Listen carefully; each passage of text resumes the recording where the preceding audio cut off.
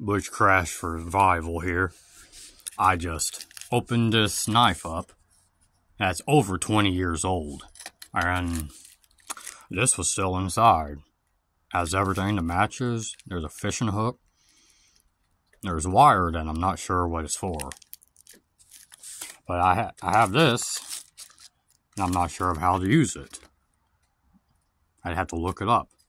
I thought maybe I just, like, choo choo choo choo. And that would be it. There's also a compass.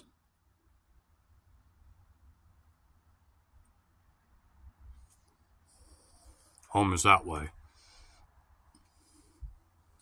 That's my fire. This is my survival outfit.